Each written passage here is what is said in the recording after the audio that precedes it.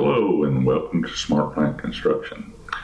The purpose of this particular movie is to emphasize the systems integration aspects of SmartPlant Construction to allow you to bring in engineering schematics data correlated with your three-dimensional model data and of course be able to do materials, supply chain and management uh, both forecasts and reservations uh, of the materials themselves. And uh, up front, of course, at the beginning of the work process, you will have integration with your Primavera P6. And on the back end, SmartPlant Construction will generate reports that allow you to, to uh, export those reports and import those into Primavera. Uh, and of course, the fabricated piping and fabricated steel interfaces that exist within SmartPlant Construction will allow you to bring in the details of the fabrication uh, of those particular disciplines. And from that SmartPlant Construction will provide an easy to use interface for work package planning uh, to allow you to add content uh, to the packages via various filters and statuses and visualization techniques and drag and drop those into packages and subsequently be able to do material forecasts and reservations and of course animate those over time in a 4D uh, animation.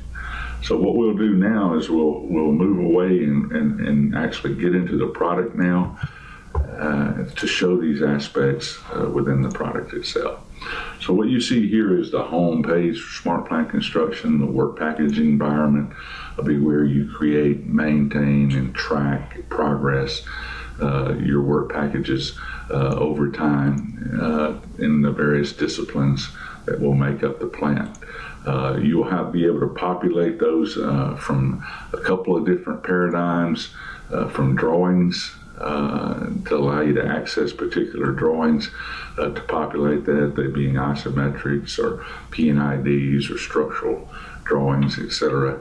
Uh, and also from the three-dimensional model to allow you to access a 3D model to be able to navigate and filter that model very quickly.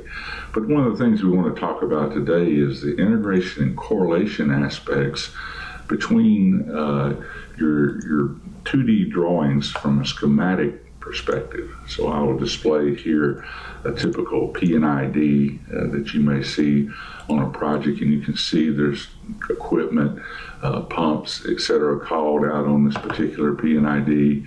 Uh, you can retrieve those into the system. You can have correlated with that uh, the the particular isometrics uh, that may be correlated to the to the actual components themselves.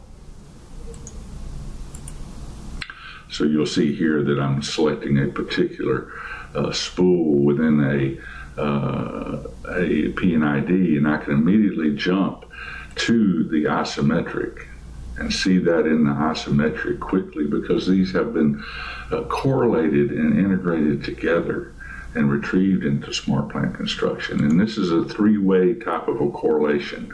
Not only correlated back to the P&ID itself on a component basis, but also to the model. So you'll be able to jump to that particular item uh, directly in the model and be able to see that.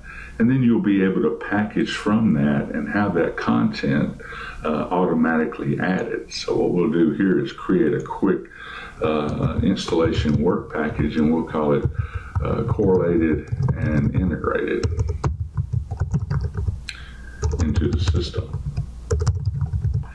And we'll assign that to a parent construction work package uh, via our integration with Primavera.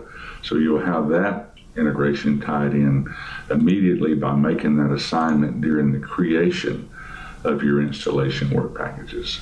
And we'll save that off to the system now, and you can see we have our dashboard for our particular package. But what this allows us to do uh, at this point, we'll back up here just a little bit and activate uh, one of our selection rules uh, to select uh, by various components, assemblies, or drawings themselves. In this case, we'll select by uh, spool and then we'll actually select on this particular item and you'll see it highlights that particular spool that we've shown that's correlated uh, to the isometric itself and to the P&ID.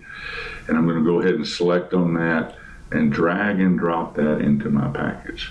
Now, SmartPlant Construction will realize what that is. It'll realize that integrated associativity and correlation. It will place that component into the package and retrieve the drawings and do the calculated man hours.